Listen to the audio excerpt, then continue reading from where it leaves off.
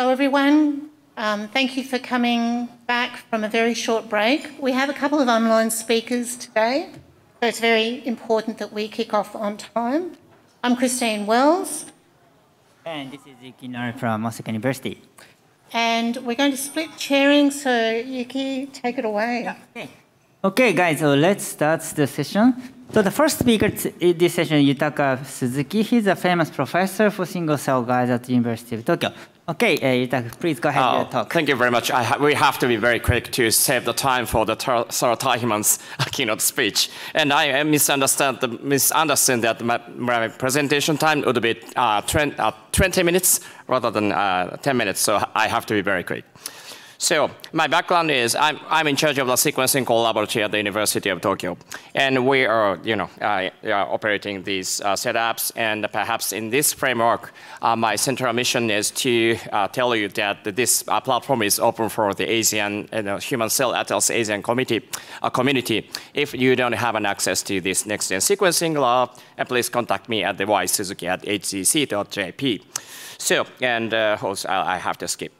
Uh, actually, uh, I want to present our you know, potential contribution in terms of the data production for the uh, healthy individuals, and without being being aware of the aware of the same thing is going on as a framework under the framework of work of AIDA.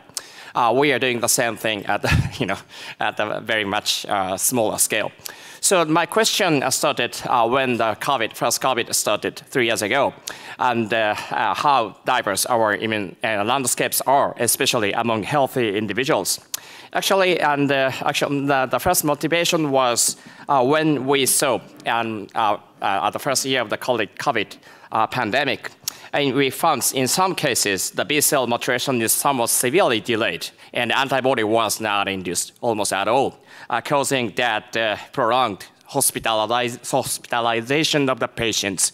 And our uh, question was whether that's, there are several people originally having the potentially having that that's a personality or by chance or during the course of the infection something wrong may happen to that patient. And in theory, uh, we are born with the genome and causing, uh, you know, defining the inherent uh, basis for our, you know, the you know, body. And uh, uh, thereafter, after the birth and the growth and the regeneration, aging, and eventually death, and the genome information is somewhat modified uh, by the uh, you know, variable interaction with the environments and perhaps sometimes with the medical records, which should be different depending on the different backgrounds and uh, cultural and the food habits. And that part should be uh, memorized as a, as a form of epigenome and transcriptome.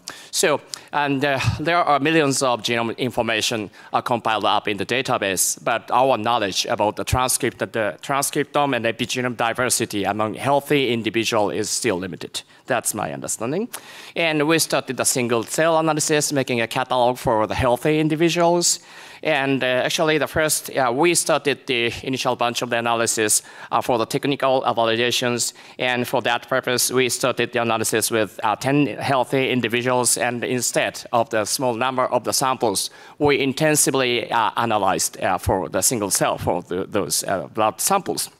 And the first product is already out in the paper, so please refer to uh, this paper uh, so that you can get an access to the dataset as well.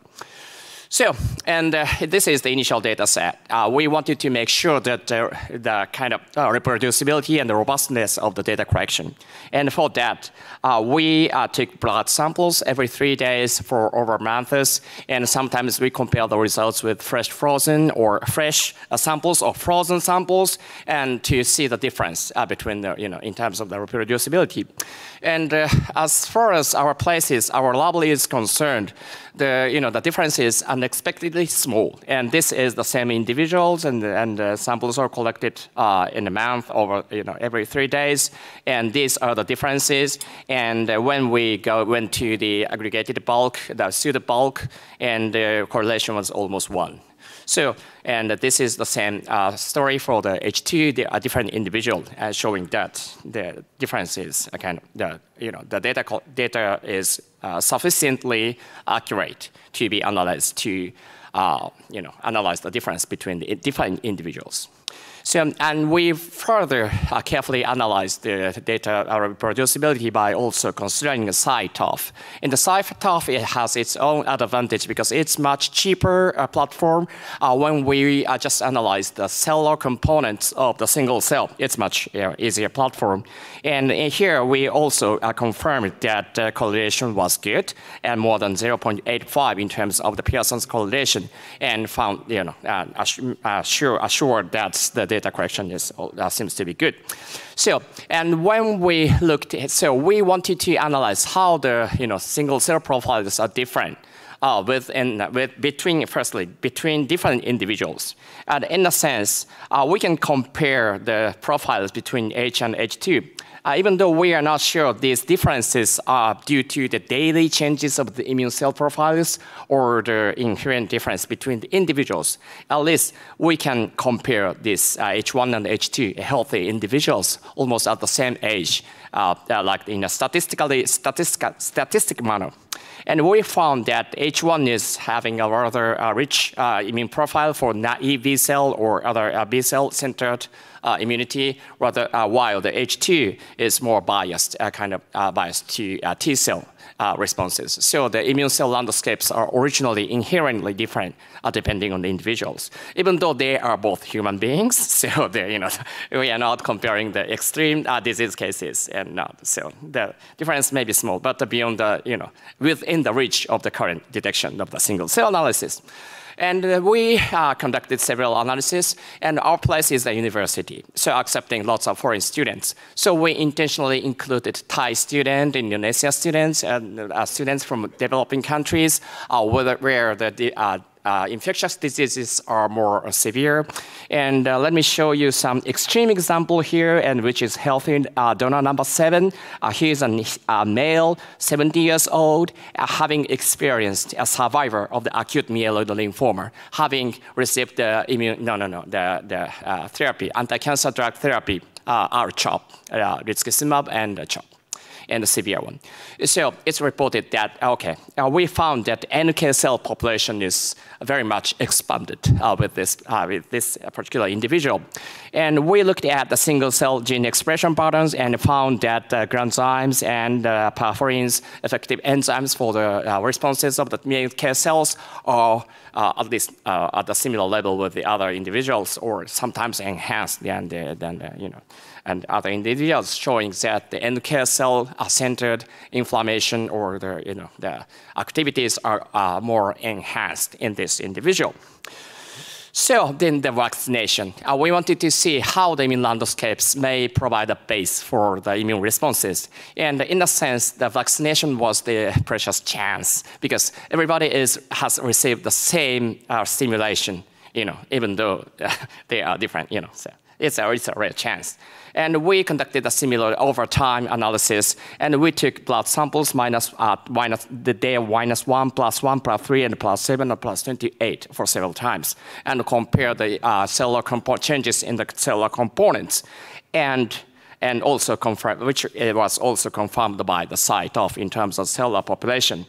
And uh, most for, from the most of the people, usual, usual uh, people, and the immune cell profiles are changes of the immune cell profiles are as expected, uh, like this way, uh, like the uh, monocyte firstly induced, and this, uh, you know, the, the button was passed to the CD4, and then the CD8 and the B cell response are followed, and like this way. So the, it's it's it's like this way, but in some extreme case, like H7 uh, where when uh, in which the NK cell was at least expanded.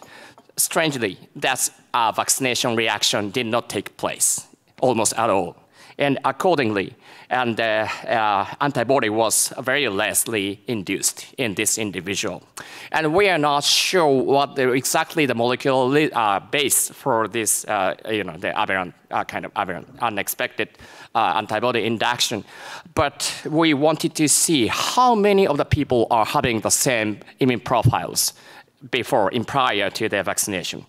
So uh, the first paper is already out. Please refer to the, that paper for more details of the technology, uh, technology things. And uh, somewhat encouraged, encouraged, encouraged or kind of satisfied with the initial results. And we are currently scaling this analysis to a wide, larger number of people, especially focusing on elderly people. And there, okay, so they're starting from the single cell uh, JAK-STAT multiome analysis and the genome sequencing and CyTOF analysis, also the Olink analysis of the uh, massive, um, uh, the mass spec analysis of the proteome of the blood. So uh, currently our data sets consists of the one, more than 100 individuals covering the total of 250 single cell libraries. And uh, okay, I was not aware of the AIDA activity, so I'm trying to, I'm having a discussion how we can, uh, our activity should be connected to the uh, framework of the AIDA. So, and in this case, we are uh, also collecting the data from the, the usual life data and uh, by providing a smartwatch for each individual. And we are collecting the data from the foods and sleep and exercise and medical checkups. And there is an APRI and uh, where in which the photo, the food photo can be trans, uh, translated into the nutrition and other things, and the calories and other things, and so that we can collect the data for all together, together with the single cell uh, molecular information. I think that part is no less, no less at all uh, important than the molecular you know, information. Or when we go into the interpretation of the, uh, the collected data set. So the data shows up like this way. This is the 50s, 60s, 70s, and 80s. Okay, so the immune profiles uh, when we are at the level of the CyTOF uh, are really diverse. And for example, this is the average figure of the immune cell, uh, uh, the cell, uh, blood cell profiles uh, for uh, among the 40s, healthy 40s, and uh, when they come to the age of 80s. So so much changes are, took place, like the you know the like naive T cell population decreased instead of the NK and other infl pro-inflammatory cellular components increased. So and uh, this is the statistics, and I have to uh, omit. So we again looked at the uh, extreme uh, patient, patient, not the individuals uh, having the very expanded NK T cell, NK cell population and uh, looked at how the, you know, the, uh, the, uh, we firstly confirmed that these uh, cell are, cell are, NK cells are, are functional in terms of the cytokine production and uh, you know, the other epi epigenomic landscape features because we are having have having collected uh, ATAC uh, information as well. So uh, showing that really the normal or enhanced activities. And, and we also looked at Olink to monitor the status of the proteome, serum proteome, and found actually that okay, immune profiles can be also monitored by the Olink. And this NKT expanded person really are in the state of the inflammatory response, yeah, the status of the blood cell. So time is already up. So this is the NK cell, so very, very uh, skewed uh, uh, cell profile. And, uh, and this time, uh, somewhat unexpectedly, the vaccination reaction, the response of the vaccination was really normal. So, and uh, that's, a, that's, a, that's a big difference between the previous person.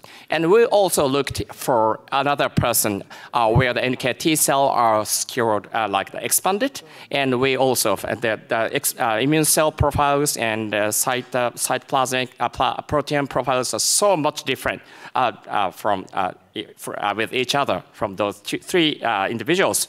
But uh, immune responses are, uh, then vaccine responses also are found for these individuals.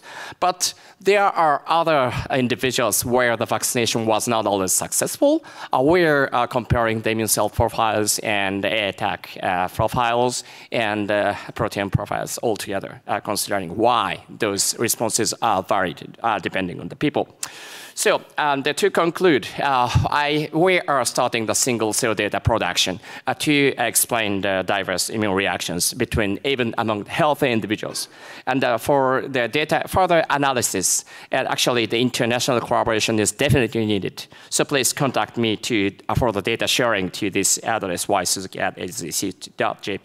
And this is acknowledgements. And uh, lastly, I want to, I like to thank to all the uh, residents who are joining this single cell monitoring. I'll stop my talk here and I'm happy to take any questions. Thank you. Thank you, I'm Yutaka. sorry for the time. Uh, is there any one quick question? Okay, maybe we have many time for discussion later. So let's go to the next speaker. Thank you very much. Yutaka. Okay, let's move on to the uh, next speaker. Next speaker from Rios Sugimura. I think he's joining by web. Yes, I am on the web. Yes. Oh, thank you, Rio. Maybe, yeah, Rio is Yeah. from Moscow University. Now he's working at the University of Hong Kong at the uh, associate professor. So, uh, Rio, please go ahead your talk. And also, thank you for joining this meeting. Yeah, thanks so much for inviting. So can you see slide? All right, perfect. Yes. So I am Rio from HKU, and today I'm going to talk about human embryonic development using organoid system. Lots of single-cell RNA-seq, and also with spatial transcriptomics. So I'd like to share some progress of our recent work in stem cells modeling human embryo. Uh, trying to catch up with a recent, like our new attempt to implement molecular barcoding. Basically done by two PhD candidates in my lab, Yimin Chow and David Sham. Yimin has been a very talented informatician. David did all of the wet experiments of 10x Chromium and 10x Visium. So the question we had is, can we use like stem cells as a platform to model human embryo, like human baby thing? Uh, we have been using human iPSCs, ESCs for long. And we did uh, some modification with a collaboration between our Pentao laboratory in HKU. We use uh, defined chemicals to expand that potential of iPS cells now uh, endowed uh, capacity to make trophoblast and hypoblast, not only epiblast. So using that kind of stem cells as a start point, we made our organoid system, basically using a commercial medium as a consistency assurance. And we have a time course of 10x chromium and 10x Visium. So this is how exactly uh, our organoid looks like. Then the data basically, I mean, this is from 10x chromium, three data points, and you can see uh, emergence of uh, like trophoblast, hypoblast, right, yolk sac equivalent, eventually enriching like neuroectoderm, cardiac mesoderm, and then hematopoiesis. Because the kit is more like originally containing hematopoietic cytokines at the certain stage. Then that basically we assure like hemo, which we call human embryonic organoid. Hemo follows time course of human embryonic development. And then we do 10x Visium, ask like more structure detail. And this is basically our original data. We have done uh, RCTD. Um, this is our one section, 10 organoids. And I was not convinced by this resolution because it's so low. So this is how particular our data looks like. Uh, one organoid like containing many, many, many cells. And if you see like this circle thing, green circle, RCTD, like uh, original annotation of 10x, we call it one cell. But actually contains more than 50 cells. Then we did a collaboration with HKUST nearby university in Hong Kong, Department of Mathematics. And they use a imaging-based analysis to deconvolute heterogeneity. So here is a case, we have a HE section, we can see nucleus and assign each nucleus as one cell. Uh, we paired with 10x chromium, single RNA-seq data set, and did uh, some training data from public data. And actually, it has been done by a lot of work by Can Yang in uh, Department of Mathematics and Angela Wu. So they are also having uh, another publication, probably bioRxiv soon, about the detail of this program. But this is our end product. I mean, like, uh, not exactly a single cell level yet, but it's kind of satisfactory. It's better than original, like RCTD thing. So now we can see more cells per spot. And then we try to figure out what's a composition of those organoids. So let's say uh, this section, like uh, 10 organoids per section. And out of 10, we can see 8 uh, having a very heterogeneous, like multi-use capacity. Only like two are like these guys are number eight and number two are predominantly to, um, trophoblast. But others are more containing hematopoietic, trophoblast, and hypoblast, more like epiblast components were there. And we are kind of consistently generating a multi-lineage or organoid. Then I actually a hematologist as a training. Then the interest always is can we make blood or can you see how blood develops? Yes, yolk sac. Is having a typical feature like blood island.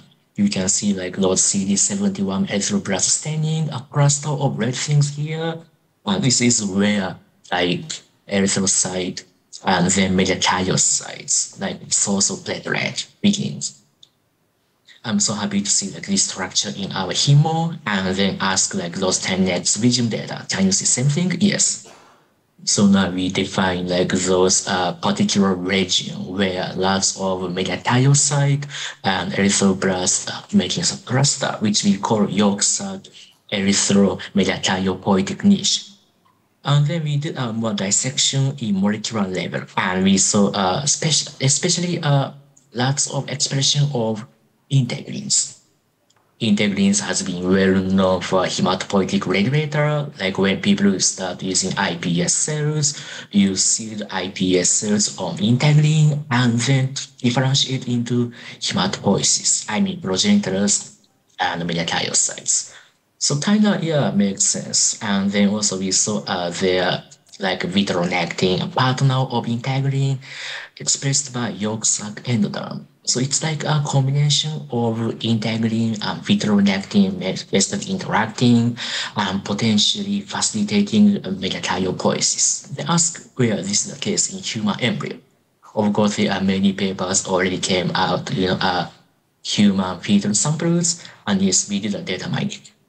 So that's uh, one particular stage of yolk hematopoiesis, and we reanalyzed and identified one like a Pearson correlation similarity between our sac portion and also yeah, those real human yolk sac express vitronectin and integrin, especially uh, integrin type 2B, uh, ITGA2B. So these are consistent between like a real human embryo and in our yolk sac niche. This is already published, I mean not published yet, but it's already bioRxiv. So you can see all the raw data and more detailed story here. Essentially, our story is we model human embryonic development from PSCs and then combine both 10x chromium and Visium and trying to get a single cell level stage to uh, 10x Visium machines. Stomics. And today I more talk about megakaryocyte integrin connecting thing. But also, yeah, in this paper, we defined Wnt signaling as a potential regulator of neural crest maturation. And source is perhaps a trophoblast. That's kind of an interesting new thing. Then switching gear, uh, this is totally new, even not yet bioRxiv, uh, ongoing study. It's very hot in my laboratory. So again, I said I am a hematologist. So always my question is, can you define, can you mimic the logic in embryos. We know like hematopoiesis begins from hemogenic endothelial cells, like this tiny population in our 10x chromium. Um, but always I wonder when I see this kind of data, uh, this green cells is really source of this bunch majority of blood or not. We don't know unless we do a barcoding. We have been trying like uh, CRISPR-Cas9 barcoding as parallel approach, but it's still uh, technically uh, challenging in some case. So we kind of now go ahead on the mitochondrial variants. I think it's now being very much consensus by uh, last work by Vijay Sankaran and Peter van Galen. And then, you know, mitochondrial mutations much faster than somatic mutation. And you will be able to use this as an innate barcode then you know always you know think people can say hey but this protocol is only 20 days probably yes i do agree but thing is when people culture ips cells that's basically a trump passage bulk culture for nearly years like the cells we are using are basically 10 years old. So it's very likely high chance of mitochondrial variants accumulated and diverse. So it's like uh, already barcodes are there. And it's very much repertoire. So we adapted Peter van Galen with collaboration and then tried to master on both 10x chromium and Visium. So idea is can you see a mitochondrial enrichment by single cell RNA-seq and spatial transcriptomics? Uh, yes, the protocol is very reproducible. Uh, we are collaborating with informaticians and PIs in our institute, Yuanhua Huang and Joshua for very amazing. And we adapted MQuad and Vireo SNP for our computation pipeline. I mean, this is more like the universe. I'm more like a biology person, but I do appreciate this collaboration. What we got was like nearly 36 variants. And we are now more dissecting. Example, like we found three variants uh, on multiple lineage and potentially useful to reconstruct a phylogenetic tree of those hematopoietic lineage. We further applying this 10x Visium data try to see a topological information because if a cells differentiate, making some clonal population, like a bacteria colony, they will be spreading into this area. And can we see like those clonal zone of certain lineage? And if we have like those consistent barcode, we will be able to do that. So that's trying right now. So I think uh, we are time time up. So I'd like to appreciate Amy, David, amazing PhD candidates, also Shifi and Handy for uh, another work. They were doing amazing jobs. And collaborators, Joshua, Yuanhua, Pentao, Angela, Can Yang, and many others. Thanks so much. And I am recruiting. All right. Thank you, Rio. Great, grateful. We have a, time to have one or two questions. So uh, if you have a question, please go on to the microphone and uh, okay, I have one quick question. So your mitochondrial variation, are you going to detect the somatic mutation by using genome sequencing or just uh, detecting mitochondrial variation story on the text data? Yeah, I mean, it's a good point. Actually, yeah, originally we were more focusing on mitochondrial variants, mm-hmm. but actually that's also E-means idea. Maybe we can take a somatic mutation and try to see a correlation. And I do agree. So we are working on this one right now. Thanks. Oh, great. Thank you. Yeah, please go ahead. Right. I have a quick question. Uh, sorry I'm, if I missed it, but um, you demonstrate that you can do three lineages to understand hematopoietics, but how, what is, the advantage or disadvantage compared to saying a single lineage understanding of hematopoiesis from IPS, as opposed to the model that you proposed there, you have three germ layer differentiation, which maybe mm -hmm. more complex and you're actually losing out on the number mm -hmm. of cells that you're looking for. So what's the advantage of looking at multiple lineages? Okay, so uh, in advantage compared to two dimension, I mean, I have been originally working on two dimension for a number of years.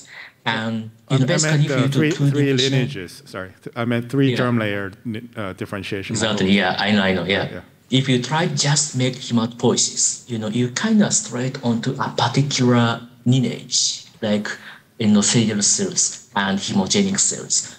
But we will be always missing certain support by niche, like placenta supports HPC expansion and yolk sac. Now, you know, as I show here, like integrin vitronectin to support megakaryocytes. In there, when I was doing like a single lineage induction by like defining thing, like omitting trophoblast, hypoblast, what we were seeing was like uh, making megakaryocytes were not easy, like when we, I tried before. But now, I mean, megakaryocyte is, in our system is one of the major product. Okay, great. Thanks. Thanks. Okay, thank you. So maybe mm -hmm. we are now on time. So uh, Rio, uh, next with the next speaker. So Rio, thank you so much for your great talk, and hope to see you in person next time. Okay, uh, let's move on to the next speaker, uh, Dr. Wei-Wing Liu. Uh, he's a Vice President Special Assistant to Chairman of BGI Groups. He's involved in Population Games Initiative and Spatial Temporal Mix, So we are really happy to have him on this symposium. Go ahead, please. Please go ahead. Thank you for the opportunity to present our work. Uh, so the paper I'm presenting today is something that uh, was recently published in Science uh, and is featured on the cover of that particular issue. Um, and it's and we and through this paper, I would like to showcase the exciting uh, new technology that we developed um, to achieve this work, and as well as also uh, give food for thought on potential applications to, for human regenerative medicine. So uh, sa salamanders, so, so mammals have um, very limited regenerative capacity, uh, or, or I should say almost none, in terms of um, brain regeneration. Uh, but salamanders have um, retained this um, capacity even in adulthood. So in order to unravel the mechanisms by which salamanders uh, uh, regenerate um, and heal an injured brain, uh, we studied the axolotl and we applied um, our technology, spatial enhanced resolution omics sequencing, um, or abbreviated StereoSeq, to the axolotl brain. Uh, so we, the, we, we, we were able to achieve um, single cell so, sorry, excuse me. So we, we StereoSeq is, is able to achieve um, whole, uh, whole transcriptome, a spatially resolved whole transcriptome um, analysis at single cell or subcellular resolution. So we, uh, we applied this, uh, and the resolution goes is as small as uh, 500 nanometers. So we applied this uh, to the salamander, uh, to, to, the axolotl brain and we were able to do image-based cell segmentation to, um, it, we were able to analyze about two or 300,000 single cells um, with this technology. And we were able to get down to, um, we, get, we were able to achieve 850 spots um, per cell on average, corresponding to 6,300 UMIs per cell, um, as well as uh, uh, about 1,700 genes per cell. So first we applied StereoSeq to the axolotl brain and um, to the adult brain. And in this slice, by, by, by, doing spatially constrained clustering, we were able to identify um, six major um, anatomical subregions within the axolotl brain. Um, and corresponding to uh, doing, doing spatial, doing further clustering, we were able to identify 16 different major cell types. Uh, and we were able to see their spatial distribution across um, the, the axolotl brain um, at single cell resolution. And so here you could, you're able to see the excitatory neurons um, in the uh, mainly focus, mainly in the medial, um, medial pallium and, and dorsal pallium and lateral pallium, but, and you're also able to see the inhibitory neurons um, uh, uh, concentrated mostly in the striatum and the septum. Um, and we further validated um, the, the ability to recapitulate the spatial location um, by uh, comparing with uh, in situ hybridization data. And uh, more interestingly, uh, we, we, we, focused on different populations of the endo uh, glial cells, which, are, which correspond to the neural stem cells in mammals. Um, so these are the cells that have been demonstrated by previous research to, to be potentially to, to, to, to be responsible for the uh, regeneration and for neurogenesis. Um, and so for the adult um, um, axolotl, we're able to identify three different distinct um, EGC populations um, uh, dispersed across various regions in the ventricular zone. So next, we wanted to investigate uh, how uh, um, the, the, the, uh, the cell dynamics of the axolotl telencephalon during development. So we took six different time points, three um, in the larval stage for stage 44, 54, and 57. We also looked at the juvenile, adult, and um, metamorphosis stages. And we were able to identify 33 different um, cell types. Uh, and and and, and, more interestingly, we, we, we could see the um, um, the location, the, how, how those cell types change over these different time points. So in the, uh, in the early stages, in the larval stages, the, we have a population of developmental uh, ependymal glial cells, um, EGCs, which are uh, which disappear by the juvenile stage and are replaced by the three different um, um, EGC cell types that we uh, demonstrated earlier in the adult slides. And then also we see that neuroblasts and immature neurons occur um, simultaneously almost around around those um, uh, together with the developmenting uh, development uh, with the developmental EGCs, um, which suggests that uh, most likely that there might be um, um, cell lineage uh, relationships between these, um, which was also demonstrated by previous work. And then when you get down to the, when you when you when you go to the juvenile, adult, and metamorphosis stages, uh, they're replaced by they, mature neurons. And so we look at the cell dynamics of the axolotl telencephalon during development. Um, we see um, different different modules, um, different gene modules associated with neural stemness and cell cycle. Uh, and also translation. And we see that um, the expressions of these modules are very high um, throughout the axolotl brain during um, during larval stages, but they uh, but they they're they're mainly focused on in, in, the uh, um, ventricular zone during the uh, in the adult stages. And so next we investigated the axolotl brain during regeneration. So we made an incision to the dorsal pallium of the axolotl brain. Um, and we observed its um, um, the, we observed across uh, six, six, different time points, two days, five days, 10 days, 15 days, 20 days, 30 days, and 60 days post-injury. And we were able to identify 28 different cell types. Um, and more interestingly, we were able to observe that um, two cell types were distinctly um, um, uh, were dis distinctly um, increased during these um, stages, during days two to, to 15 post-injury. Um, and these were, one was microglia cells, which are probably recruited for the inflammatory response, but the other is um, the um, uh, reactive, what we call reactive EGCs, because we realized that um, they, they actually have a different um, um, transcriptional signature compared to the, the, the, three different EGCs that we demonstrated earlier. And so for these, um, we, we also saw that um, for so,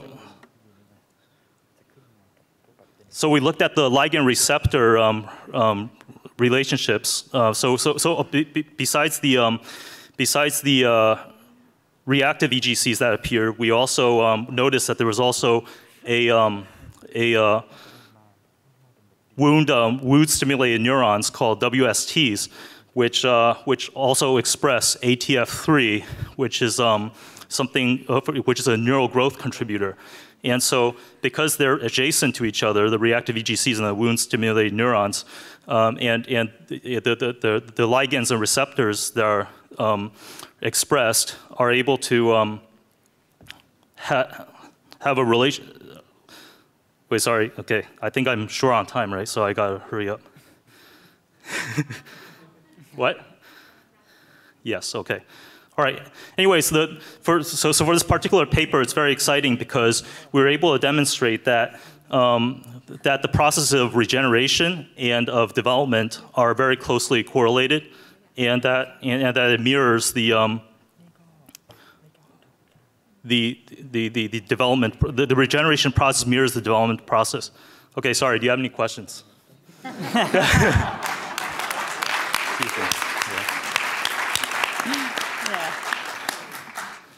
Okay, quick, quick question? Yes, go ahead. Hey, very nice talk. Just one quick question. So how do you segment the, the cells? How do you segment the spots into cells? Okay, so because the, the resolution of the technology is at uh, 500 nanometers, so it's already subcellular resolution. So when you we're able to get 850 spots um, at subcellular resolution. So combined with the image, we're able to get the do, do watershed. Um, we use the watershed algorithm to to segment the individual cells. I see. Thank you.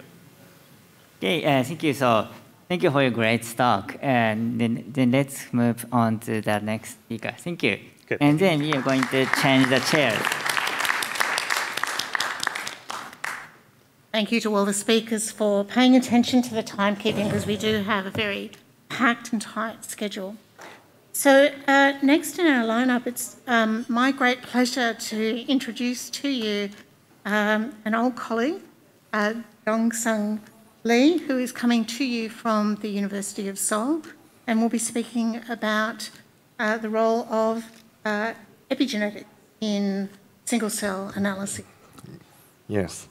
Uh, thank you for the introduction, Professor Christine Wells. Well, as she told you, she was my old colleague, so I guess this is the one of the things that you can enjoy when you actually present at the conference. Old colleague and meet new people.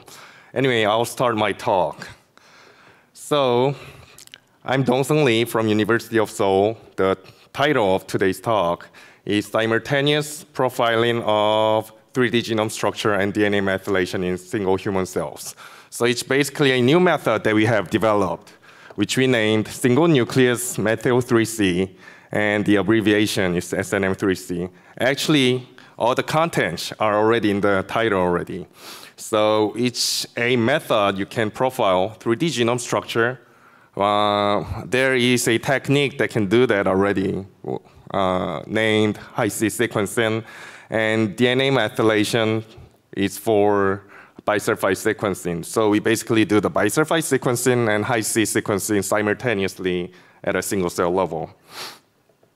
So to introduce myself, I use a lot of next generation sequencing, especially Illumina sequencer, and to profile epigenetics, which includes bisulfite sequencing for DNA methylation, ChIP sequencing for multiple histone modifications, and transcription factor binding sites, and etc. And also RNA sequencing to see the effect of those like epigenomic uh, modifications and also used a lot of like Hi-C sequencing to profile 3D genome organization. And this is actually the work that I and Christine did together back in 2014. We did DNA methylation and multiple histone modification to see the changes during iPS cell reprogramming from somatic cells. And then we also did a lot of Hi-C on like cancer sam samples to see the chromatin conformation and detected structural variants. And the thing is, both of the projects were done on bulk cell, so we really couldn't tell how like diverse the cell population within the samples that we sequenced. So we needed to deconvolute the data inside that heterogeneous population and we could, what we could do after that is that we combine the data from the same cell types and profile and study the actual, uh, what really happens inside those like populations.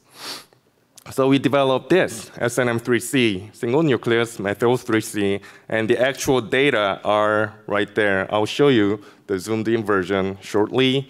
We can profile chromatin conformation, DNA methylation, and also use the Hi-C data to detect structural variation with it. And this is how the experiments were done. We actually do the 3C in bulk cell level.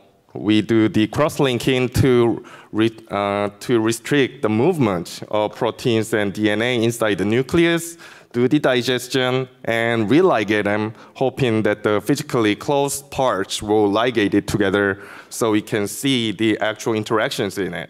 And after that, we sort the cells into each well of the well plates and do the bisulfite treatment, mark them, mark each cell by unique identifiers, and do the sequencing.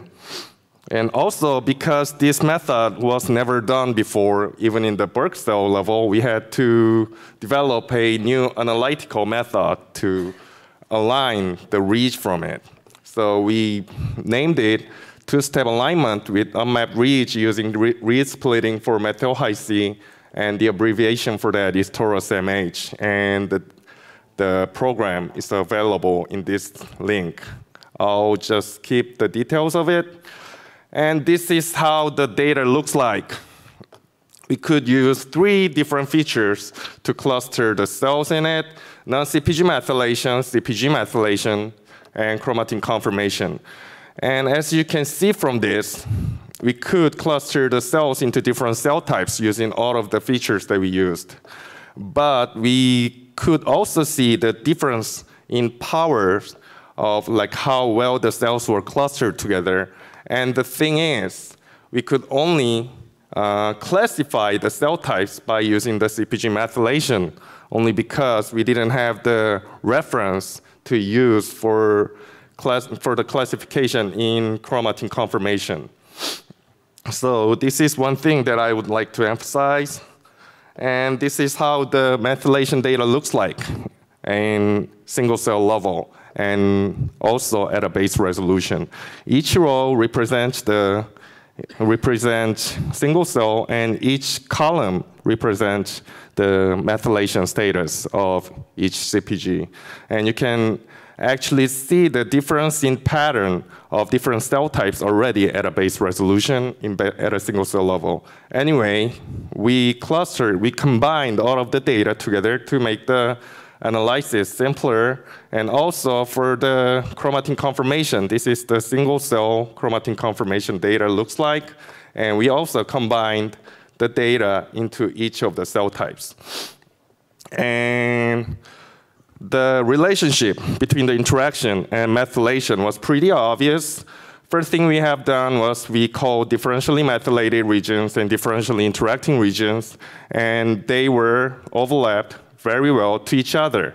So basically means if the methylation changes, then the interaction changes too. And this is the heat map of the interactions. If the interaction is high, then the methylation is low. So we don't even have to do any kind of like statistical test to uh, show that. So it, it was pretty obvious. So these are the, here's the one example of that. So SATB2 is a gene that is known to be specific for excitatory cell, and inhibitory cell doesn't express that. As you can see from this, we could see the strong interaction between SATB2 and the long non-coding RNA upstream of it. And if the interaction happens, then we could see the low methylation at the interacting regions. Whereas if there's no, no interaction, then we could see, we couldn't see the low methylation. And also there was a opposite example. Of course, ADARB2, which is the inhibitory cell-specific marker gene, ADARB2 specific interaction, and with the low methylation level around it. So to compare our method with the other single-cell Hi-C techniques, uh, this was the like comparison from the other data, other paper actually. So we could, even though the strength relies in the simultaneous profiling of methylation and chromatin conformation, our method could use up to 60% of the reach that you sequence, whereas the others could only use around like 10% of the reach that you sequence. And we could also profile cells with the like highest number of contacts per cell. And this was the study done by other uh, groups. So what they have done was that they do the, the single cell Hi-C sequencing, which was mono-omic. They were, they were only could profile cell cycle not those cell types, only because they didn't have the methylation or like RNA to classify the cell types. Anyway, we have recently we have done uh, performed SNM3C on brain tissues in different developmental stages from like 14 different individuals and classified the cell types with the methylation. And what we could see was that we did the same kind of analysis that the others have done. And what we could see is that this uh, global trend of interaction was representing the cell types, not the cell cycle. And also, we could find the uh, cell type specific interaction from the high risk loci of schizophrenia with RORB. So we think this will be the new approach that we will take from the SNM3C. Please wrap up now. Thank you, Jonathan. All right. Yeah, that's all I have for today. And yeah, I'll skip the summary. I would like to acknowledge all the people who have taught me and like helped me with the project. And thank you. 감사합니다. I know this is very exciting technology and we have a lot of questions, but we don't have time. So I'm going to ask you to um, tackle Dongsang at the, um, at the break. and join with me in thanking him again for a really fantastic work. Thank you.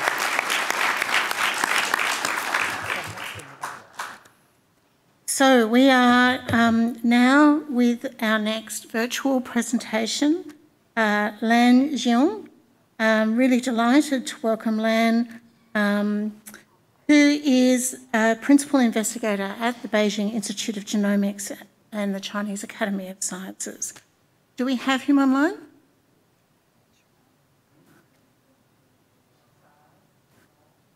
Thanks a lot for the invitation of TCA. I'm Lan Jiang from Beijing Institute of Genomics. I apologize for cannot attending the conference in person, but I'm glad I can still share with you our recent work virtually. Uh, the existing droplet-based single-cell transcript transcriptomics approaches are still costly and preclude large-scale study on millions of cells or thousands of samples. Uh, we noticed that the droplet microfluidic system uses a ineffective way to minimize the doublet rate. In result, the vast majority of droplets are functional but cell-free. Uh, computational methods are uh, extremely helpful to identify and remove doublet but can hardly help to increase the throughput and reduce the experimental cost. Uh, sample multiplexing can overcome throughput limitation by identification and removal of doublets and achieve experimental cost reducing and batch effect removing.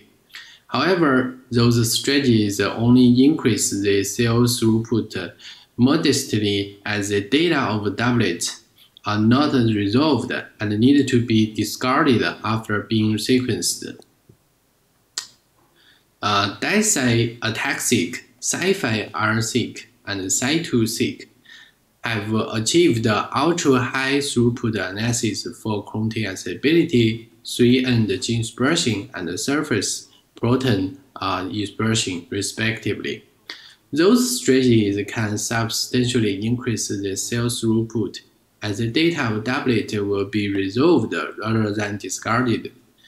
Um, however, the droplet microfluidics-based combinatorial indexing 5' end single-cell R-seq have has not been described.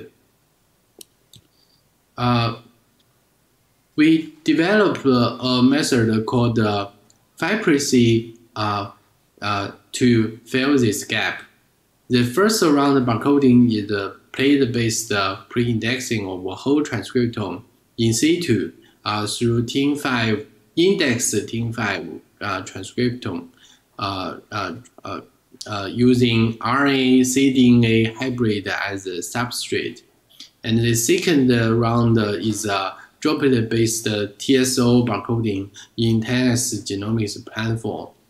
Uh, this work is currently under revision uh, and genome biology, and you can find more details from this uh, preprint.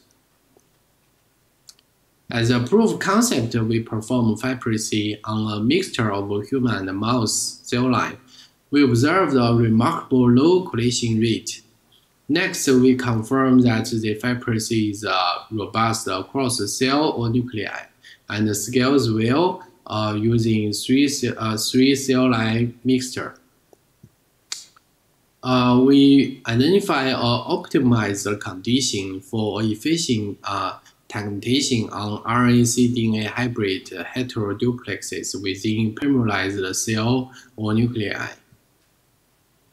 Uh, next, uh, we found that uh, oligo, uh, uh, oligo dT primers um, uh, with uh, whole cell perform the best, and the typical sequence depth of uh, 50,000 fragments per cell will obtain uh, median genes of more than 2,000 genes per cell, which is comparable with the 10x genomics standard 5' end single-cell R-seq procedure. And random primers with nuclei seems uh, can detect more enhancer RNA. Uh, we apply uh, FIPRESCI on on mouse E10.5 whole embryos, and we successfully recovered uh, more than uh, more than uh, 100,000 uh, transcriptome uh, from nuclei from a single 10x genomics channel, which is over tenfold compared to standard procedure in terms of cell throughput. Also provides clustering, marker gene identification, and comparison with existing public data demonstrate the high quality and complexity of our data. Uh, enables investigating the landscape of, of transcription start sites usage in a cell type and single-cell specific manner. We uncovered uh, previously unrecognized TSS switch during GABAergic neurogenesis of many critical factors. For example, at the early stage, this RBFOX2 mainly use the um, most upstream promoter, while the downstream uh, promoter, which skips the first two exons, gets strongly activated and uh, at the intermediate and late and late stages.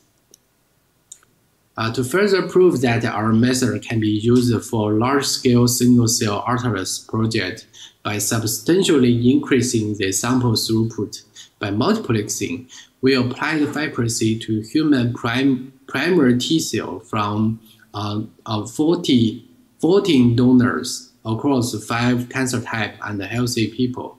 Uh, the T cell affects uh, enriched from frozen PBMC sample we obtained more than uh, uh, 20, uh, 40,000 single-cell transcriptome, which include um, the 12 major subtypes. We will observe that the frequency of naive T cells in cancer donor are much lower than that of healthy individuals, and the frequency of Treg are substantially higher in most of cancer donors especially in a pancreatic cancer donor. We observed the clone type shared by multiple T cell subtypes in one patient, uh, especially in stomach cancer uh, patient, uterine cancer patient, and also some uh, breast cancer uh, patient, which indicating the clonal expansion of T cell for comparison, this pattern is not observed in healthy donor. The Next, we leverage the FIPRESCI single-cell data to explore the subpopulation differences of Tregs between cancer and healthy donor. Unsupervised clustering of Tregs from all donors reveal five clusters. Uh, surprisingly, Tregs from healthy donors are significantly enriched only in uh, cluster 1, uh, while cells from cancer donors seems evenly distributed across all the cluster. We construct a, a, cancer index based on the ratio of cluster 1 and non-cluster 1 cells, and the result suggests most cancer can be distinguished from healthy sample, although a small proportion of cancer sample uh, may lie in an intermediate zone. Okay, so in summary, uh, FIPRESCI uh, is uh, suitable for multi-sample and large-scale single-cell transcriptomics profiling. And it also enables us to acquire multiple layers of additional information from a single single-cell RNA experiment with high efficiency, such as TSS usage, enhancer RNA, and immune receptor repertories. Uh, currently, we are uh, actively involved in many projects uh, by applying this uh, uh, new method to understand adaptive immune system in different disease. And I hope that the knowledge may help us to develop new drugs. Okay, thanks to talented PhD students Li Yun and Huang Zhen and the funding. Uh, we also have a poster position available uh, in the lab. Uh, okay, I would like to stop here and uh, happy to take questions.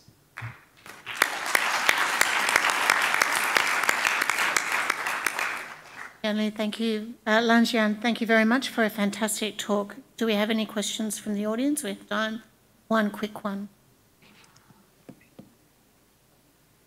Okay, I had a really quick one, and that was just about the observation you made of um, transcriptional start site switching being very important in the patterning brain. And have you observed this for any other tissue?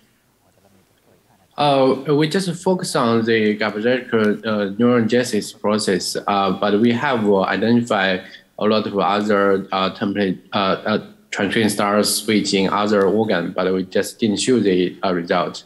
Uh. Have you been able to compare that to the to the FANTOM transcriptional start site atlas? Um, uh, uh, oh, oh, uh, it, it, will be interesting to look at that. Uh, yeah. Yeah, yeah. I think so too. Yeah. Thank you very much, Lan Jiang.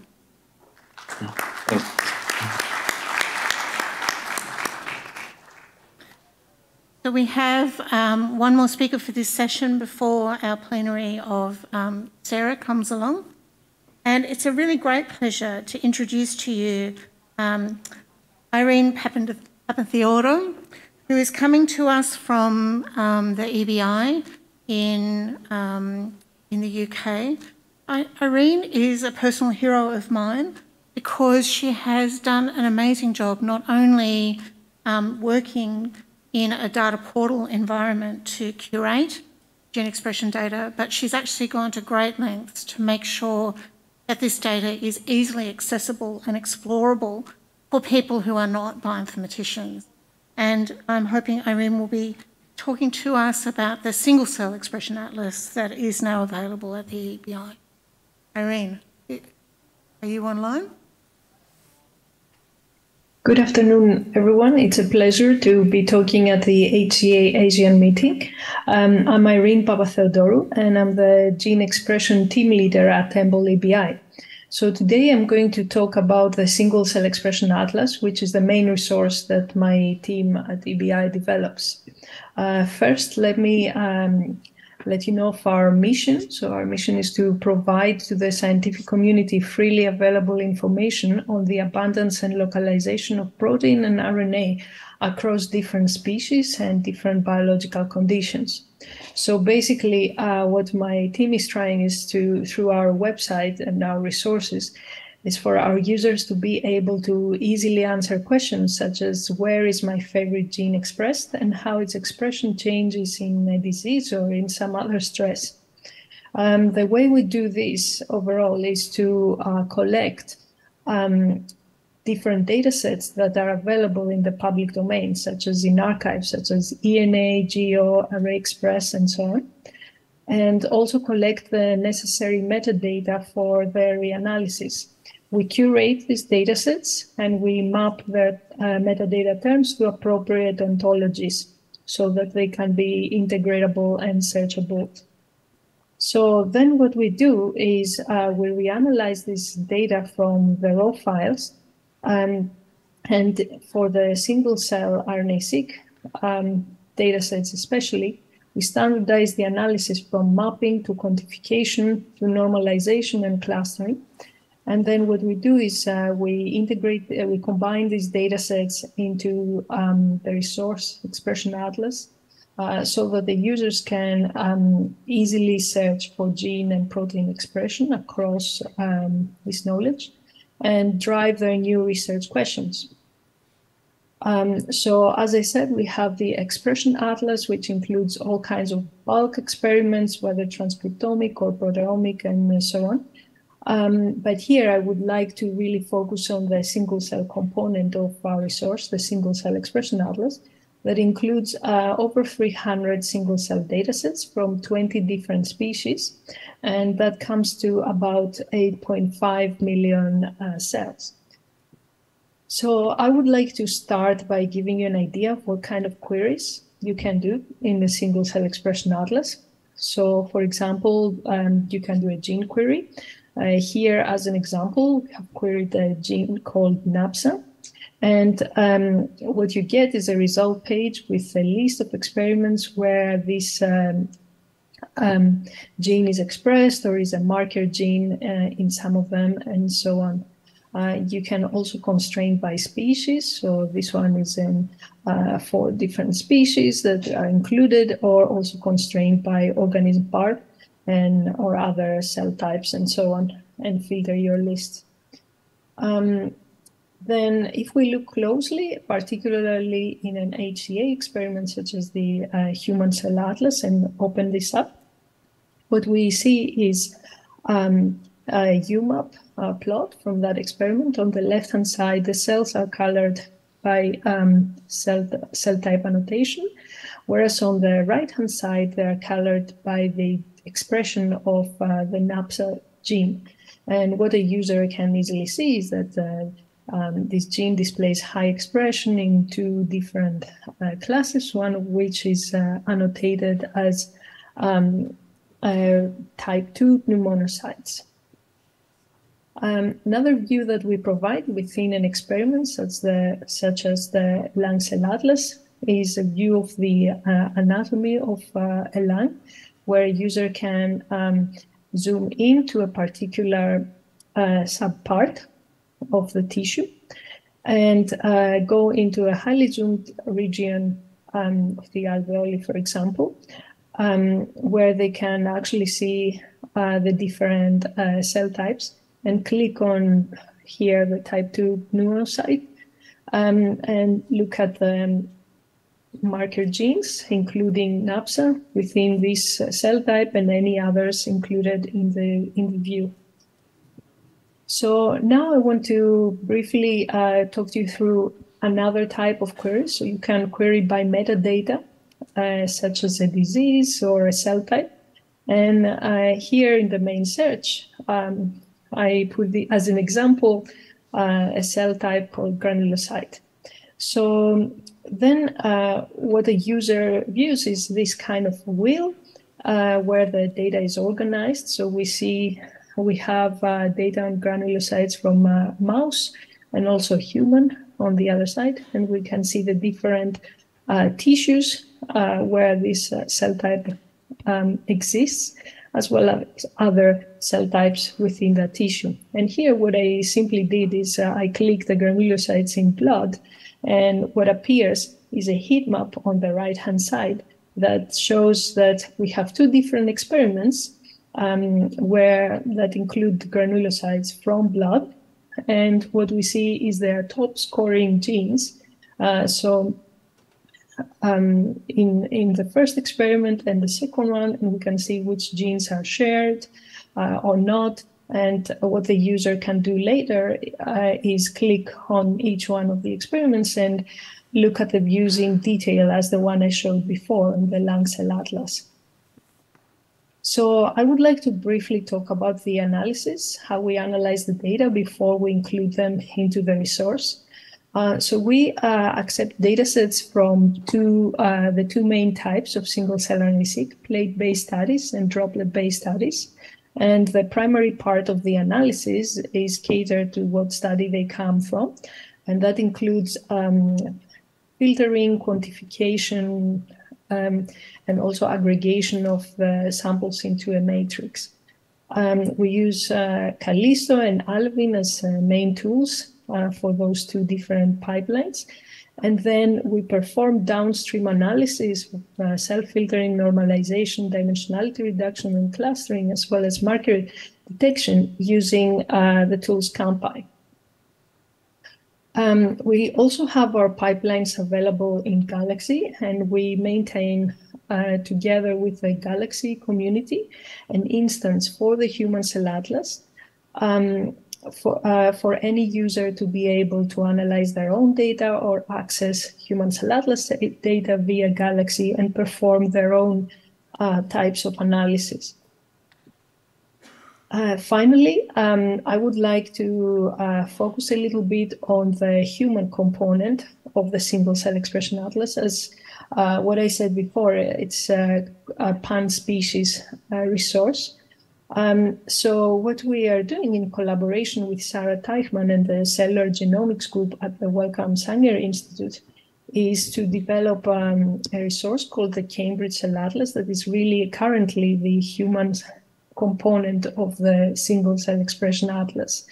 Uh, so this resource is in the same spirit. So the data sets are selected, curated, annotated, um, reanalyzed using the same pipelines as the single cell expression atlas. And uh, the website currently provides the same uh, functionality.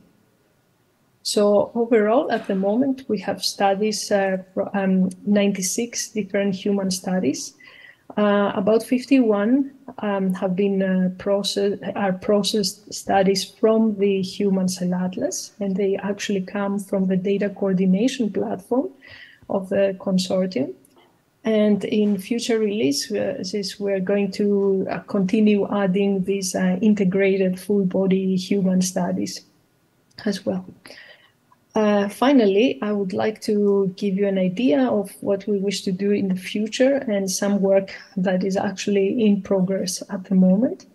Uh, so we're working with a clinical group, especially at the University of Edinburgh and computer scientists as well, who uh, develop uh, a pathology um, um, a workbench uh, that is really a tool to enable pathologists to view their images of the, of the sections and the cells together with data from the human cell atlas and the single cell expression atlas so that they can observe in which cells a particular marker gene is highly expressed or not uh, when they uh, look and look at this alongside their images.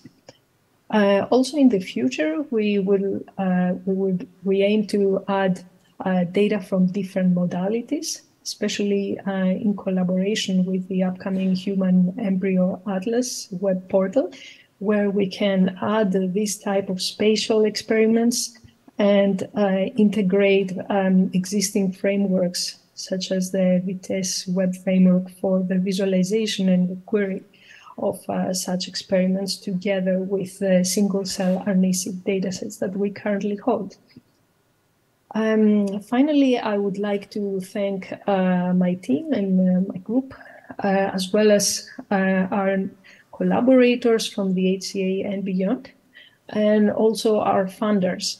So thank you very much, and I look forward to questions.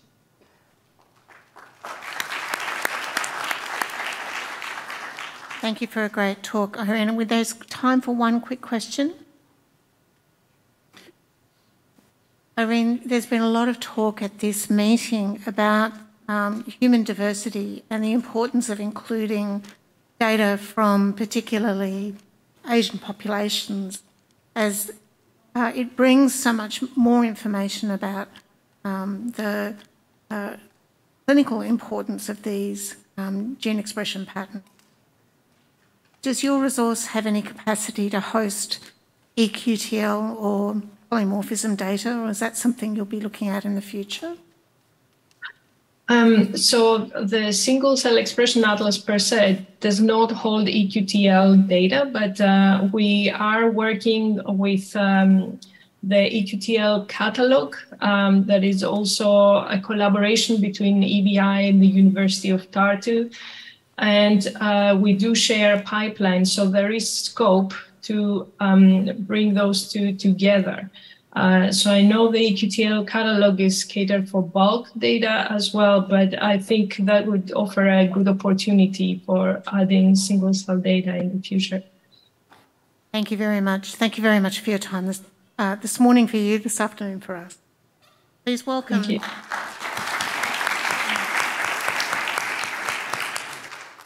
and please join uh, Yuki and I in thanking all of the speakers for this session. I'm now handing over to Varodom to, to chair our plenary for today. Thank you.